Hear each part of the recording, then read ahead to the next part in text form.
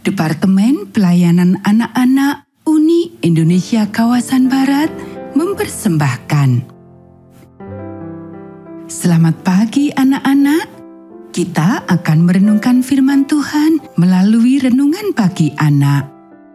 Menjadikan Allah yang pertama. Hari ini tanggal 16 Oktober. Mari kita awali dengan doa. Bapa di surga, kami akan belajar firman Tuhan. Tolong kami supaya kami dapat memahami firman Tuhan. Dalam nama Tuhan Yesus kami berdoa. Amin. Anak-anak, ayat inti renungan pagi kita hari ini diambil dari kitab Lukas pasal 22 ayat 31 dan 32.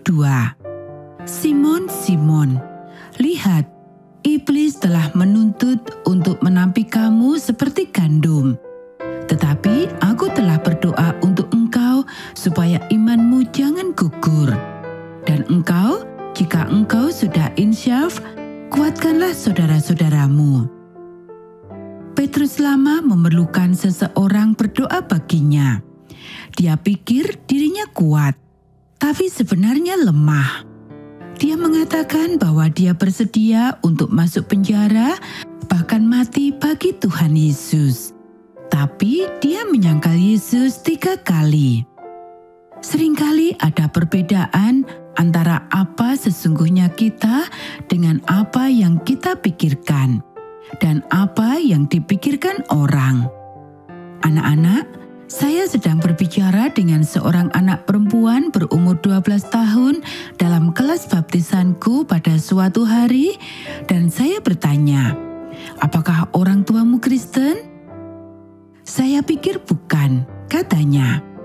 Mereka pergi menonton film, mereka membaca novel, mereka bertengkar, dan kami tidak mengadakan kebaktian keluarga. Oh, tapi kata saya, tidak, saya pernah melihat mereka di gereja. Oh ya, katanya, mereka adalah anggota gereja.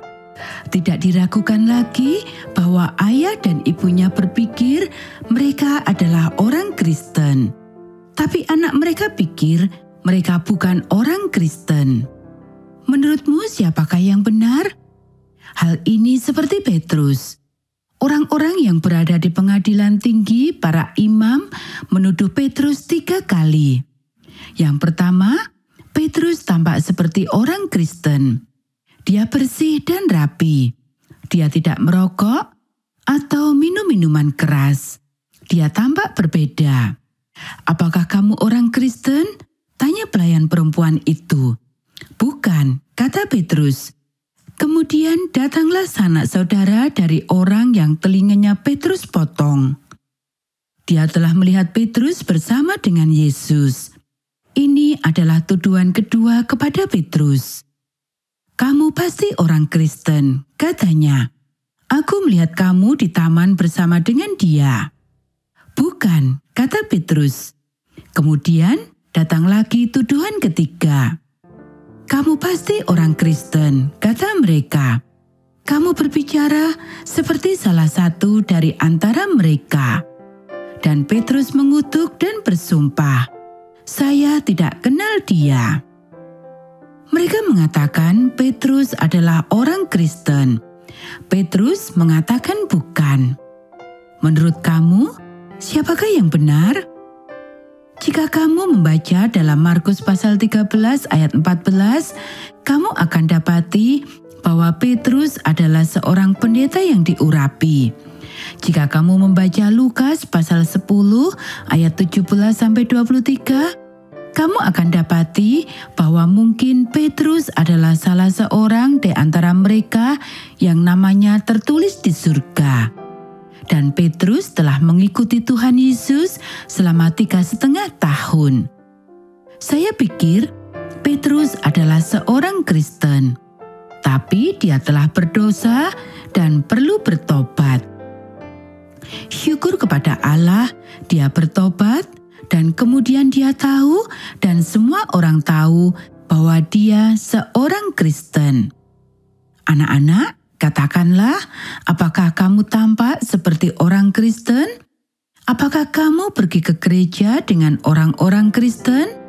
Apakah berbicara seperti orang Kristen? Apakah kamu pikir dirimu adalah seorang Kristen? Apakah orang tuamu dan saudara-saudaramu pikir kamu adalah seorang Kristen? Lebih baik kamu memeriksa dan melihat apa yang mereka pikir tentang kamu. Kamu mungkin perlu sedikit pertobatan. Anak-anak, demikianlah renungan pagi kita hari ini. Mari kita akhiri dengan doa. Bapa di surga, terima kasih kami sudah belajar firman Tuhan. Tolong kami supaya kami benar-benar menjadi orang Kristen Kiranya Tuhan memberkati kami hari ini saat kami belajar, bermain, dan membantu orang tua.